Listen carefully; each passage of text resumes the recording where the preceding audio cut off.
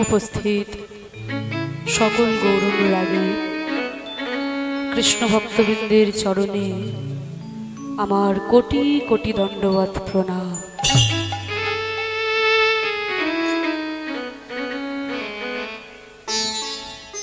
আজকে আপনাদের এখানে এই চাঁদপুর গ্রামে এই যে ভুবন মঙ্গল হরিনাম সংকীর্তনের আয়োজন করা হয়েছে। ভগবান একদিকে, ভক্ত একদিকে, আজকে ভক্ত ভগবান দুজনকেই কাছে পেয়েছি। সেইখানে গৌর গোবিন্দের কথারস আস্বাদন। এ আমার বহু জনমের সৌভাগ্য। যার কথা তিনি শুনছেন, নিতাই গৌরের কৃপায়, রাধা গোবিন্দের কৃপায়। এবং আপনাদের চরণ ধুলিতে এই অঙ্গনটি যেন আজকে মধুর বৃন্দাবনে পরিণত হয়েছে। তা ভাবনিধি আমার গৌর সুন্দর যার অন্তে কৃষ্ণ আর বাহিরে গৌরাঙ্গ। ভাবরসে গড়া আমার গৌরাঙ্গ তনু যার বাহিরে গৌরাঙ্গ আর ভিতরেতে কানু। রাধা কৃষ্ণ একই আত্মা দুই দেহ ধরি অনন্যে বিলাস রস আস্বাদন করি। সেই দুই তনুইবে চৈতন্য গোসাই, লীলা রস আস্বাদিতে দোহে হইলা এক ঠাই। রাধা এবং কৃষ্ণ একই আত্মা, পৃথক নয়। সেই দুটি দেহ এক হয়ে দুটি দেহ মিলিত হয়ে সোনার বরণ গৌর হয়ে এসেছেন সোনার নদিয়ায়। হ্যাঁ? তাই কখনো তার মধ্যে আমরা দেখতে পাই রাধা ভাব কখনো তার মধ্যে আমরা দেখতে পাই কৃষ্ণের ভাব। কখনো রাধা ভাবে বিভাবিত হয়ে আমার গৌর হরি ভক্তদের মাঝে বসে কাঁদছে আবার কখনো কৃষ্ণের ভাবে বিভাবিত হয়ে আমার গৌর হরি ওই পার্ষদগণকে সখা মনে করে তাদের মনের আনন্দে হরিনাম গাইছে তাহলে সেই দুটি দেহ এক হয়ে দুটি দেহ মিলিত হয়ে সোনার বরণ গৌর হয়ে এসেছেন এই সোনার নদিয়ায়? তাই আজকে দেখুন পদকর্তা মহাপ্রভুকে দেখে কত সুন্দর কলম দিচ্ছেন যে আজু হামু কি পেখলু নবদ্বীপ চন্দ্র করতলে করয়ে বয়ানু অবলম্ব? আজু হামু মানে আজকে আমি কি পেখলু মানে কি দেখলাম আমার গৌর হরিকে আমি এমন তো কোনোদিন দেখি না কেমন করে বসে আছে মহাপ্রভু, না করতলে করয়ে বয়ানু অবলম্ব হ্যাঁ? নিজের হাতের ওপরে মুখটিকে রেখে একভাবে মহাপ্রভু বসে আছেন। পদকর্তা মনে মনে ভাবছেন যে আজকে মহাপ্রভু শ্রীমতী রাধারানীর ভাবে বিভাবিত হয়েছে। রাধারানীর ভাবে কেন বিভাবিত হয়েছে? ওই যে বললাম রাধা কৃষ্ণের মিলিত তনু হচ্ছেন আমার গৌর সুন্দর। রাধা কৃষ্ণের দুটি দেহ এক হয়ে দুটি দেহ মিলিত হয়ে সোনার বরণ গৌর হয়ে এসেছেন সোনার নদিয়ায়। তাই কখনো তার মধ্যে দেখতে পাচ্ছি রাধা ভাব, কখনো তার মধ্যে জেগে উঠছেন কৃষ্ণ ভাব। তা এই যে নদিয়ার চাঁদ গৌর সুন্দর অবতীর্ণ হলেন, নদিয়ার মাঝে সোনার বরণ গৌর হয়ে, এই আশার পিছনে বাবা খুব সুন্দর দুটি কারণ লুকিয়ে আছে। একদিকে তিনি যেমন হ্যাঁ লীলা আস্বাদন করবেন বলে এসেছিলেন, এটা তার ব্রত ছিল। অন্যদিকে তিনি আমাদের মতো কলিহত জীবকে উদ্ধার করার জন্য এসেছিলেন, এটাও কিন্তু তার আরেকটা ব্রত ছিল। একদিকে লীলা আস্বাদন অন্যদিকে জীবের উদ্ধার। হ্যাঁ? আপনি আচরি ধর্ম জীবের শেখায়, আপনি না কইলে ধর্ম শেখানো না যায়। একদিকে লীলাস্বাদন অন্যদিকে জীব উদ্ধার। মাগো বৃন্দাবনে শ্রীমতী রাধারানী কৃষ্ণকে ভালোবেসেছিলেন। কিন্তু সেই কৃষ্ণকে ভালোবাসার যে কি সুখ, কি গভীরতা, কি মহিমা, ভগবান শ্রীকৃষ্ণের একদিন জানার ইচ্ছে হলো। ভগবান শ্রীকৃষ্ণ মনে মনে ভাবলেন যে রাধারানীর প্রেম কেমন? সেই প্রেমের মাধুর্য কেমন? সেই প্রেমের গভীরতা কতখানি? কইছন রাধা প্রেমা কইছন মাধুরীমা কইছন সুখী তুহু ভোর? এদিন বাঞ্ছিত ধন ব্রজে না হইল পুরাণ, ভাবিয়া না পাইনুর রাধারানীর প্রেম কেমন? সেই প্রেমের মাধুর্য কেমন? সেই প্রেমের গভীরতা কতখানি? ভগবান শ্রীকৃষ্ণের একদিন জানার ইচ্ছে হলো। এখানে কিন্তু বাবা চৈতন্য চরিতামৃতে কৃষ্ণদাস কবিরাজ খুব সুন্দর একটা কলম দিয়েছেন যে কৃষ্ণ মাধুর্যের আশ্চর্য এক বল, কৃষ্ণ আদি জীবগণ করই চঞ্চল। এই কৃষ্ণ মাধুর্যটা এমনই বস্তু ছিল মাগু যে শুধু আমাদের মতো জগতের জীব নয়। শুধুমাত্র আমাদের মতো জগতের জীব নয় স্বয়ং ভগবান কৃষ্ণ একদিন নিজের প্রতিচ্ছবিকে নিজে দর্শন করে আকুল হয়ে গেছিলেন, ব্যাকুল হয়ে গেছিলেন। একদিন ভগবান শ্রীকৃষ্ণ এই বৃন্দাবনের একটা মণিখচিত দেওয়ালে নিজের প্রতিচ্ছবিকে নিজে দর্শন করেছেন। নিজের প্রতিচ্ছবিকে নিজে দর্শন করে মনে মনে চিন্তা করলেন, আহা, সামনে দাঁড়িয়ে কত সুন্দর একটা রূপের মানুষ। ওই রূপের মানুষটাকে যদি কিছুক্ষণের জন্য আমি আমার হৃদয়ে ধরতে পারতাম, তবে যে আমার এই হৃদয়ের জ্বালাটা জুড়িয়ে যেত। এই বলে ভগবান শ্রীকৃষ্ণ আজকে করেছেন কি? না নিজের প্রতিচ্ছবিকে নিজে ধরবেন বলে ছুট লাগিয়েছেন। দৌড় লাগিয়েছেন। তা কি গো মা? নিজের প্রতিচ্ছবি কি কি কখনো নিজে ধরা যায়? নিজের ছায়া কি কি কখনো নিজে ধরা যায়? ধরতে পারবে? কিন্তু দেখুন আজকে ভগবান শ্রীকৃষ্ণ নিজের প্রতিচ্ছবির প্রতি নিজেই মোহিত হয়ে নিজের প্রতিচ্ছবিকে ধরবেন বলে যখনই ছুট লাগিয়েছেন, অমনি পিছন থেকে বিশাখা সখী হাতটা টেনে ধরেছে। ও বধূ এমন ভাবে পাগলের মতো ছুটতে ছুটতে তুমি কোথায় যাচ্ছ? গোবিন্দ বললেন, বিশাখা বিশাখা দেখো সামনে দাঁড়িয়ে কত সুন্দর একটা রূপের মানুষ। ওই রূপের মানুষটাকে যদি কিছুক্ষণের জন্য আমি আমার হৃদয়ে ধরতে পারতাম, তবে যে আমার এই হৃদয়ের জ্বালাটা জুড়িয়ে যেত। তখন বিশাখা একটু হেসে বলছে, ও বধূ, যাকে ধরবার জন্য তুমি এমন পাগলের মতো ছুটে যাচ্ছ, ওই মানুষটিকে তুমি এই জন্মে কেন জন্ম জন্মান্তর চেষ্টা করলেও কোনোদিন ধরতে পারবে না? কেন বিশাখা? কেন পারব না? কেন পারবে না? জানো? না যাকে ধরার জন্য তুমি এমন পাগলের মতো ছুটে চলেছো সেই মানুষটা যে আরেকজনের কাছে জন্ম জন্মান্তরের জন্য ধরা পড়ে আছে। গোবিন্দ বলেন বিশাখা এমন ভাগ্যবান বা ভাগ্যবতী বৃন্দাবনে কি আছে? বিশাখা বলল বধূ সেই ভাগ্যবতী আর কেউ নয় গো। সে হচ্ছে আমাদের বৃন্দাবনেশ্বরী প্রেমময়ী, করুণাময়ী শ্রীমতী রাধা ঠাকুরানী। রাধারানী রাধারানী, চলো চলো বিশাখা, আমাকে তুমি রাধারানীর কাছে নিয়ে চলো। রাধারানীর কাছে ছুটে এসে গোবিন্দ আমার রাধারানীর চরণ তলে লুটিয়ে পড়ে বলছে, রাধে গো। যেই মানুষটাকে দেখে আমি এমন পাগল হয়েছি, এমন ব্যাকুল হয়ে, এত আকুল হয়ে তোমার কাছে ছুটে এসেছি। আমি বিশাখার মুখে শুনলাম ওই মানুষটা নাকি তোমার কাছে জন্ম, জন্মান্তরের জন্য ধরা পড়ে আছে। ওগো রাধে আমি সারা জীবনের জন্য চাইছি না। মাত্র কিছুক্ষণের জন্য যদি তুমি ওই মানুষটিকে আমায় দিতে তাহলে ওই মানুষটিকে আমার হৃদয়ে ধরে, আমার হৃদয়ের জ্বালাটা আমি জুড়াতাম।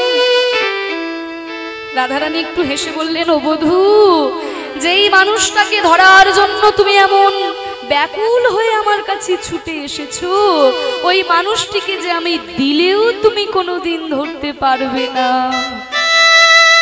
কেন রাধে? কেন পারব না? কেন পারবে না জানো? না যাকে ধরার জন্য তুমি এমন পাগল হয়ে ছুটে চলেছ, সে হচ্ছে একটা পূর্ণ বিষয়, আর তুমি নিজেও হচ্ছে একটা পূর্ণ বিষয়। তাহলে তো বাবা, বিষয় হয়ে কখনো বিষয় ধরা যায় না। বিষয় ধরতে গেলে আগে যে তোমাকে আশ্রয় হতে হবে, আশ্রয় না হলে তো তুমি কখনো বিষয় ধরতে পারবে না। তখন গোবিন্দ বলল, রাধে গো বিষয় ধরার কথাই যখন তুমি বলছো রাধে গো রাধে গো। রাধে গো। আশ্রয় হবার কথা যখন বললে রা- বললে বলো বলো আমি আর কোথায় কোথায় আশ্রয় নিব? এসেছি যখন তোমার ওই রাতুল রাঙা রাতুল রাঙা চরণে। রাধে রাধে গো।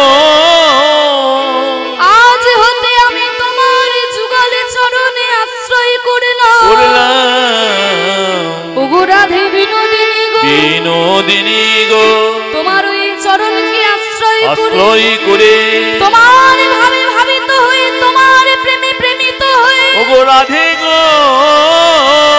ওই মানুষটাকে ধরবার জন্য আমি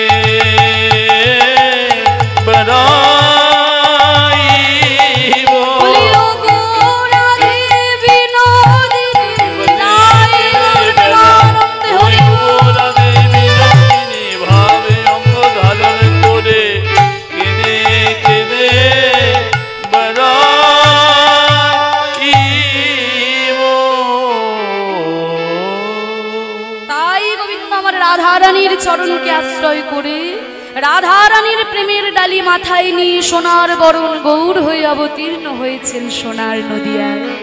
এই যে তিনি নদিয়ার মাঝখানে অবতীর্ণ হলেন মাগো এই আসার পিছনে কিন্তু আরও একটা খুব সুন্দর কারণ লুকিয়ে আছে। আরও একটা খুব সুন্দর কারণ লুকিয়ে আছে। এ তো লীলা সাধন করবেন বলে তিনি এসেছেন। আরও একটা খুব সুন্দর কারণ আছে। ভগবান মনে মনে চিন্তা করলেন, আমাতে তো সব কিছুই আছে। হ্যাঁ সর ঐশ্বর্যের মালিক আমি। ঐশ্বর্য বীর্যস্ব যশস্ব শ্রী ও জ্ঞান ও বৈরাগ্য। এই ছয়টি ঐশ্বর্য ভগবানের মধ্যে পূর্ণরূপে থাকতে হবে, তবেই কিন্তু তিনি ভগবান মাগো, তাছাড়া নয়। ও মা, মন দিয়ে শোনো। এই ছয়টি ঐশ্বর্য ভগবানের মধ্যে পূর্ণরূপে থাকতে হবে, তবেই তিনি ভগবান, তাছাড়া নয়। এই ছয়টি ঐশ্বর্যের মধ্যে প্রথম হচ্ছে ঐশ্বর্য। তাহলে ঐশ্বর্য কাকে বলে? আমাদের এই প্রাকৃত জগতে ঐশ্বর্য কাকে বলে? ও মা, ঐশ্বর্য মানে কি? বলে ঐশ্বর্য মানে জানো না?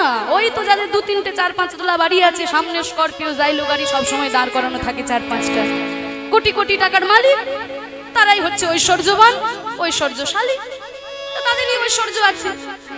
বহু টাকা পয়সা, জমিদার জমিদার সব থাকলে তারাই হচ্ছে ঐশ্বর্যশালী ব্যক্তি। তাহলে এইগুলোই হচ্ছে আমাদের প্রাকৃত জগতের ঐশ্বর্য। টাকা, পয়সা, সোনা, দানা, জমি, জায়গা। কিন্তু মা গো, ভগবানের ঐশ্বর্য তার ওইগুলো হতে পারে না। যিনি ত্রিভুবনের মালিক হ্যাঁ? স্বর্গমত্ত পাতাল ত্রিভুবনের মালিক যে, তার কাছে আর টাকা, পয়সা, সোনা, দানা, জায়গা, জমির কি দরকার? এইগুলো তো তার ঐশ্বর্য হতে পারে না। তাহলে ভগবানের ঐশ্বর্য কোনগুলো? বলে ভগবানের ছয়টি ঐশ্বর্য আছে। হ্যাঁ আটটি ঐশ্বর্য। কি কি? অনিমা মহিমা লহিমা গরিমা প্রাপ্তি প্রাগম্যই ঈশিতা বসিতা, এই অষ্ট সিদ্ধি হ্যাঁ এগুলো হচ্ছে ভগবানের ঐশ্বর্য। আমাদের যেমন টাকা পয়সা জমি জায়গা, ঐশ্বর্য, ভগবানের ঐশ্বর্য হচ্ছে এই আটটি। অনিমা মানে হচ্ছে অনুর মতো হয়ে যাওয়ার ক্ষমতা। এত ছোট হয়ে যাবে যে চোখে দেখা যাবে না। হ্যাঁ? অনুর মতো হয়ে যাবার ক্ষমতা। অনিমা, মহিমা মানে বিরাট বড় হয়ে যাবার কথা। লহিমা মানে বিরাট ভারী হয়ে যাবার ক্ষমতা। হ্যাঁ? গরিমা মানে বিরাট বড় হয়ে যাওয়ার ক্ষমতা। এই যে আট প্রকারের সিদ্ধি, এইগুলো ভগবানের মধ্যে পূর্ণরূপে থাকতে হবে, তবেই তিনি ভগবান, তাছাড়া নয়। তাহলে প্রথম ঐশ্বর্য ঐশ্বর্য গেল। এরপরে কি আসছে? বীর্য। বীর্য কথার অর্থ কি? না, বীরত্ব? বীরত্ব মানে বীর। তাহলে আমাদের এই প্রাকৃত জগতে আমরা বীর বলতে কি বুঝি, বাবা? আমাদের এই জগতে বীর কারা? বলে, বীর কারা জানো? দেখবে রাস্তাঘাটে যারা ওই একেবারে মারামারি করে মুখ ফাটিয়ে দিতে পারে। তারা হচ্ছে বীর। যারা একেবারে মারামারি করে মুখ ফাটিয়ে মুখে রক্ত বের করে দিতে পারবে, সেই হচ্ছে বীর। কিন্তু বাবা, শুধু মারামারি করে মুখ ফাটাতে পারলেই বীর হওয়া যায় না। এ জগতে বীর সাধারণত চার প্রকারের যথা। মল্লবীর, দানবীর, ধর্মবীর আর কর্মবীর। ওই যে যারা মারামারি করে মুখ ফাটিয়ে দিতে পারে, তারা হচ্ছেন মল্লবীর। আর ধর্মবীর কর্মবীর আর দানবীর দেখবেন মাগো কোটি কোটি টাকার মালিক। হ্যাঁ? কোটি কোটি টাকার মালিক। কিন্তু এই কীর্তনের চাঁদা চাইতে গেলে ছেঁড়া একটা পাঁচ টাকার নোট। কোটি কোটি টাকার মালিক। আর কীর্তনের হরিনামের চাঁদা চাইতে গেলে ছেড়ে একটা পাঁচ টাকার নোট কোথায় চালের ফাঁকে গোজা আছে সেটা বের করে দেবে এরা কিন্তু জীবনেও কোনোদিন দানবীর হতে পারবে না। কিন্তু কিছুই নয়, বৈষ্ণবকে দশটি টাকা দান করলাম, গোবিন্দ সেবায় দশটি টাকা দান করলাম। বৈষ্ণব তাকে প্রাণ ভরে আশীর্বাদ করল। এইটি হচ্ছে দানবীরের লক্ষণ। তাহলে এই চার প্রকারের বীরত্ব ভগবানের মধ্যে থাকতে হবে, তবেই তিনি ভগবান, তাছাড়া নয়। তাহলে ঐশ্বর্য গেল, বীর্য গেল, যশ, সেটাও পূর্ণরূপে থাকতে হবে। শ্রী শ্রী মানে হচ্ছে সৌন্দর্য, ভগবানের তো সৌন্দর্যের অভাব নেই। তার প্রমাণ একটু আগেই পেলেন। নিজের প্রতিচ্ছবি দেখে নিজেই পাগল হয়ে গেছিলেন। তাহলে তার অভাব কিছু নেই। তাহলে শ্রী হলো জ্ঞান, সেটাও পূর্ণরূপে থাকতে হবে। আর শেষ বা ছয় নম্বর হচ্ছে বৈরাগ্য। এই বৈরাগ্যটা তিনি বৃন্দাবনে পূর্ণরূপে আস্বাদন করতে পারেননি বলেই কিন্তু বাবা তার এই চৈতন্য অবতার। ভগবান মনে মনে ভাবলেন, আমাদের তো সব কিছুই আছে। কিন্তু যে জিনিসটা নেই, তার নাম হচ্ছে প্রেম বা ভক্তি। তাহলে আমি ভক্তিটা কেমন করে পাবো? এইবার দেখুন মা গো, ভগবানের যে ইচ্ছে হয়েছে ভক্ত হবার। ভগবানের ইচ্ছে হয়েছে ভক্ত হবার। তাহলে যার তার কাছে তার জিজ্ঞাসা করলে হবে না? শাস্ত্রের কাছে জিজ্ঞাসা করতে হবে। আজকে ভগবান সকল শাস্ত্রকে ডেকেছে। ওগো গীতা, ওগো উপনিষদ, ওগো রামায়ণ, ওগো মহাভারত, ওগো ভাগবত, তোমরা কি কেউ বলতে পারো? আমি ভক্তিটা কেমন করে পাবো?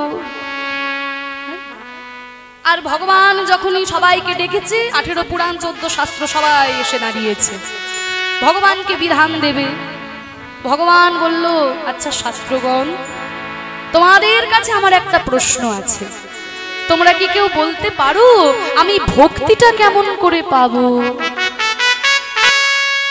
শাস্ত্রগণ মনে মনে চিন্তা করছে, বাবা। যিনি ভগবান সর্বজ্ঞ, যাকে নিয়ে আমাদের এত লেখালেখি, এত বিচরণ, আর সেই ভগবান স্বয়ং আমাদেরকে জিজ্ঞাসা করছে, তাকে আবার কি উত্তর দেব? সকল শাস্ত্র তারা সবাই চুপচাপ দাঁড়িয়ে আছে, কিন্তু একজন হাত তুলেছে। যিনি হাত তুলেছেন বাবা, তাকে আমরা সবাই চিনি। তিনি হচ্ছেন সকল শাস্ত্র শিরোমণি শ্রীমদ ভাগবত। ভাগবত হাত তুলে বলল, ঠাকুর, আমি বলতে পারি তুমি ভক্তিটা কেমন করে পাবো? বলে, কেমন করে পাবো ভাগবত, বলো? বলে, আমি তো আমার সপ্তম স্কন্ধে বলে দিয়েছি। শ্রীমদ ভাগবতে তো বারোটি স্কন্ধ। তো সেই বারোটি স্কন্ধের মধ্যে সপ্তম স্কন্ধে আমি বলে দিয়েছি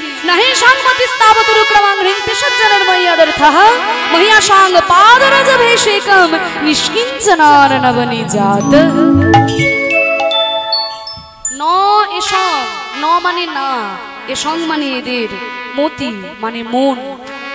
মানে ততক্ষণ, উরুক্রম মানে ভগবান অঙ্ক্রিম মানে পা মানে ততদিন ভগবানের চরণে মতি যাবে না যতদিন না নিষ্কিঞ্চন মহৎ ভক্তের চরণ ধুলিতে স্নান করা যায় এইবার ভাগবত বিধান দিয়েছে ভক্তি যদি তোমাকে পেতে হয় তাহলে ভক্তের চরণ ধুলাই তোমাকে গড়াগড়ি দিতে হবে হ্যাঁ? ভগবান দেখলেন ভক্ত হওয়া তো বড় বিপদ হ্যাঁ? আমি কার পায়ে ধুলো মারতে যাব রে বাবা? আমি যার পায়ে ধুলো মারতে যাব, সে তো নরকে চলে যাবে। কি গো মা? বলো, তোমাদের এই কীর্তনের আসরে যদি ভগবান এসে হঠাৎ দাঁড়িয়ে বলে যে আমি একটু পায়ে ধুলো নেব, তোমরা কেউ দেবে? কেউ দেবে ভগবানকে পায়ে ধুলো? কেউ দেবে না। তাহলে কার পায়ে ধুলো মাখবো আমি হ্যাঁ? আর আমি যার পায়ে ধুলো মাখবো, সে তো নরকে চলে যাবে। আমি যার পায়ে ধুলো মাখবো শুধু নরকে চলে যাবে। আমি স্বয়ং ভগবান। আমি যদি কারোর পায়ে ধুলো মাখি, শুধু নরকে চলে যাবে। তাহলে এমন একজন ভক্তকে আমায় খুঁজতে হবে। আমি ভক্ত হবার জন্য কাউকে নরকে পাঠিয়ে দেব, সেটা তো আমি পারব না। তাহলে এমন একজন ভক্তকে আমায় খুঁজতে হবে, যার চরণ ধুলি আমি গায়ে মাখলে সেও নরকে যাবে না, আবার আমারও ভক্ত হওয়া হয়ে যাবে। তাই খুঁজতে খুঁজতে খুঁজতে খুঁজতে তিনি একজনকে পেলেন। তিনি হলেন শ্রীমতী রাধারানী। গোবিন্দের মামঙ্গ সম্ভুক্তা রাধারানী, তার চরণ ধুলি গায়ে মাখলে ভক্তি উদয় হয়ে যায়, যেহেতু তিনি ভক্ত চূড়ামণি। তাই গোবিন্দ আমার রাধারূপী ভক্তের চরণ ধুলায় গড়াগড়ি দিয়ে ভক্তি লাভ আস্বাদন করলেন। আর এই ভক্তিটা এমনই জিনিস মাগো এই পৃথিবীতে কোটি কোটি বাজার আছে, কোটি কোটি দোকান আছে। কোনো দোকানে গিয়ে যদি বলো, দোকানদার, আমি তোমাকে একশো টাকা দিলাম, ভাই, আমাকে একটু একশো টাকার ভক্তি দাও তো। এই জগতের কোনো দোকানদার কিন্তু দিতে পারবে না। কারণ এই ভক্তির একটা নির্দিষ্ট বাজার আছে মাগো সেই বাজারটার নাম হলো আজকের মতো এই সাধু গুরু বৈষ্ণবের বাজার। এই বাজারে যদি একবার আসা যায়, টাকা লাগে না, পয়সা লাগে না, শুধু দুটি বাহু তুলে যদি একবার বলা যায় হরিব তাহলে এই ভক্তি লাভ করা যায়, টাকা লাগে না, পয়সা লাগে না। আরও একটা খুব সুন্দর কথা, এই ভক্তিটার উৎসই কিন্তু ভগবানের শ্রীপাদ পদ্ম।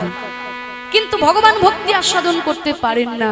দেখবেন পদ্মে যেমন মধু জন্মায়, কিন্তু পদ্ম মধু আস্বাদন করতে পারে না। আস্বাদন করে কে? না ভ্রমণ। ভ্রমর ঠিক তেমনি ভগবানের শ্রীপাদ পদ্মে ভক্তি আছে বটে, কিন্তু আস্বাদন করে আপনাদের মতো ভক্তরূপী ভ্রমর তাই আমার। রাধারূপী ভক্তের চরণ ধুলাই গড়াগড়ি দিয়ে ভক্ত ভাব অঙ্গীকার করে গৌরাঙ্গ রূপে এই কলিযুগে অবতীর্ণ হয়েছে সেই রাধা কৃষ্ণের মিলিত তনু হয়ে অবতীর্ণ হয়েছেন। তাই কখনো তার মধ্যে দেখতে পাই রাধা ভাব, কখনো তার মধ্যে কৃষ্ণ ভাব। আজকে সেই বৃন্দাবনে শ্রীমতী রাধা রানীর ভাবে বিভাবিত হয়েছেন আমার গৌর সুন্দর। শ্রীমতী রাধারানীর ভাবে বিভাবিত হয়েছেন আমার গৌর সুন্দর। তাই গৌর সুন্দরের ভাবটি দেখে পদকর্তা আজকে কলম দিলেন যে আজু হাম কি পেখলু নবদ্বীপ চন্দ্র, করতলে করয়ে বয়ানু অবলম্ব। শ্রীমতী রাধারানী যেমন কৃষ্ণকে দর্শন করার পর তার যেমন অবস্থা হয়েছিল, আজকে সেই ভাব চৈতন্য মহাপ্রভুর মধ্যে ফুটে উঠেছে। তাই আজকে পদকর্তা বলছেন, মহাপ্রভু কি করছে? একভাবে বসে আছে ওই হাতের ওপরে মুখটিকে দিয়ে এইভাবে বসে আছে। যেন কি একটা কথা ভাবছে। আবার কি করছে জানো? পুন পুন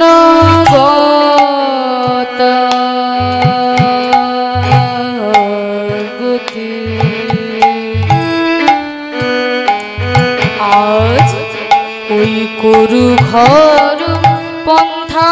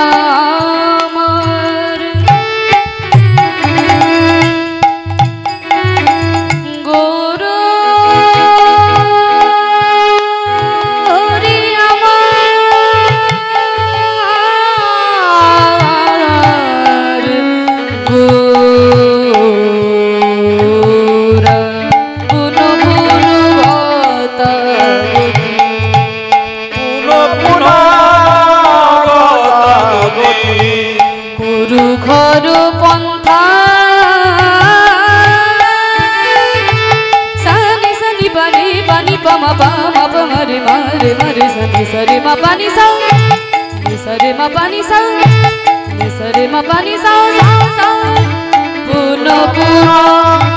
গতা গতি যারা ধে রাগটির নাম হচ্ছে বাবা বৃন্দাবনী সারণ একজন ভক্তের ইচ্ছা আমার মুখে রাগটি শুনবে তাই রাগটি গাইছি। বৃন্দাবনী সারণের উপরে আলাপ হচ্ছে। নিসরে মাপা মাপা।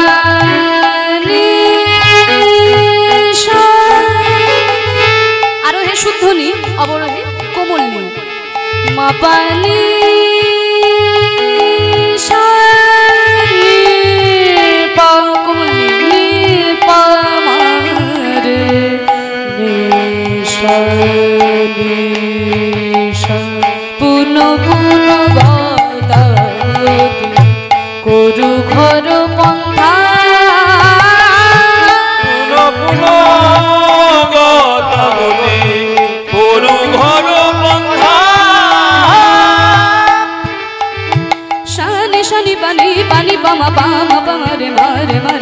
মারে সরে সরে মা পানি সা নি সরে মা পানি সা নি সরে মা পানি সা সা সা পুন পুন গতা গতি নি সরে মারে সরে মা পানি পামা পানি সরে মা রে সনি সরে সনি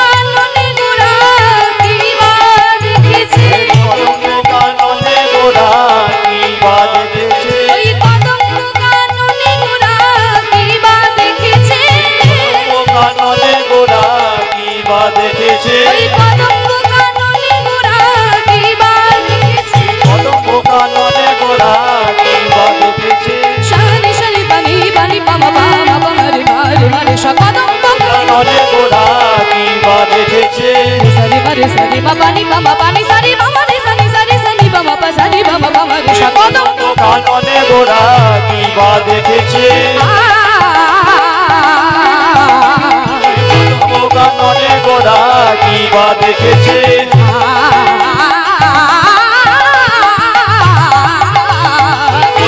কাননে গোড়া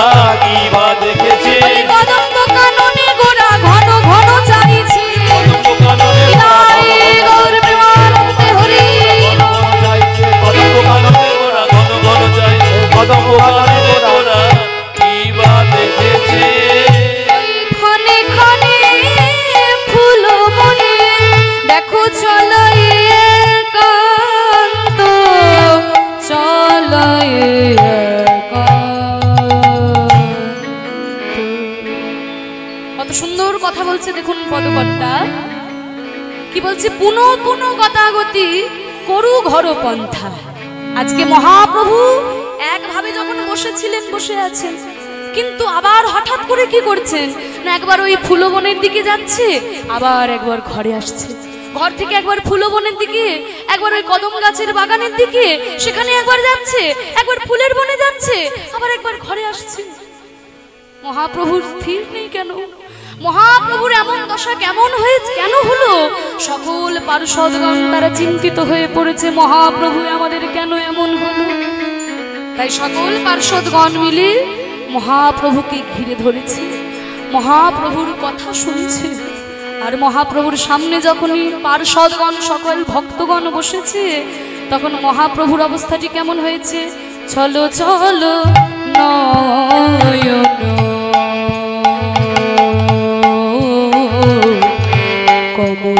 সুবিলা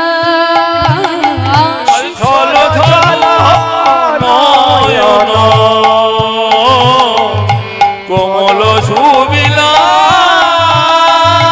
ছলো ছলো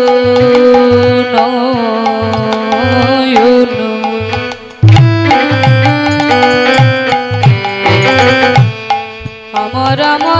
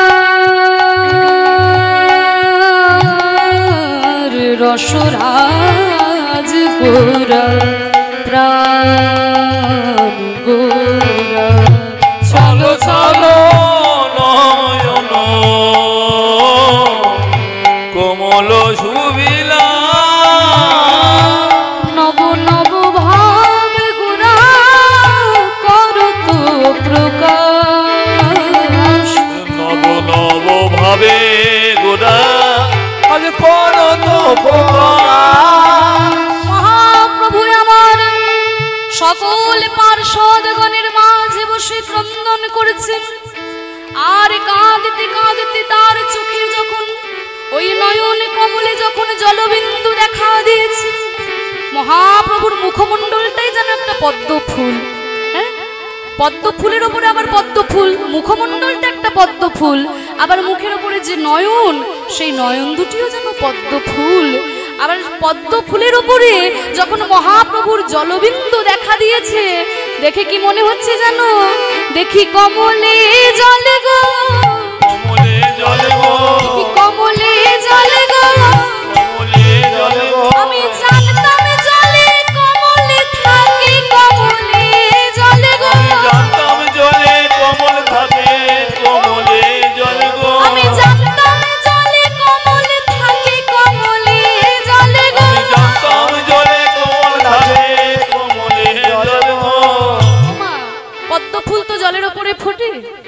জলের ওপরে পদ্ম ফুল ফোটে। কিন্তু পদ্ম ফুলের ওপরে যেন আজকে জল দেখা যাচ্ছে। মহাপ্রভুর নয়ন দুটি পদ্ম ফুল, আর ওই পদ্ম ফুলের ওপরে যখন জলবিন্দু দেখা দিয়েছে, পদকর্তা বলেছে, দেখি কমলে জলে গো। কমলে জল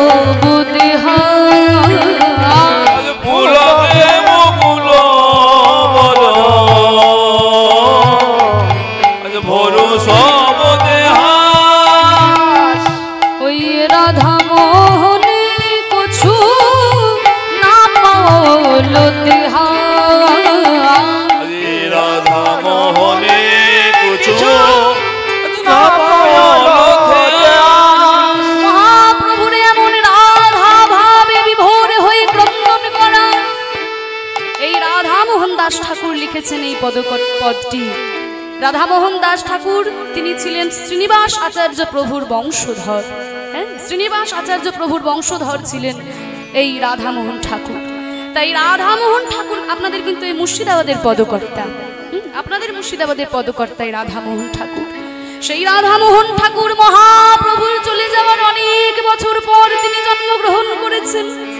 তাই বলেছে, মহাপ্রভুর এমন অবতার কোনোদিন হয় না আর হবার নয়। যেই মহাপ্রভু আমাদের মতো কলিহত জীবের দাঁড়িয়ে দাঁড়িয়ে ওই গোলকের প্রেমে ধনী অকাতরে অবিচারে বিলিয়ে দিলেন।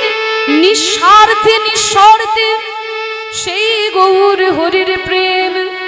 আমি এমন মানব জন্মে পেয়ে পেলাম না গো। এই রাধামোহন ঠাকুর বলছে বলছে?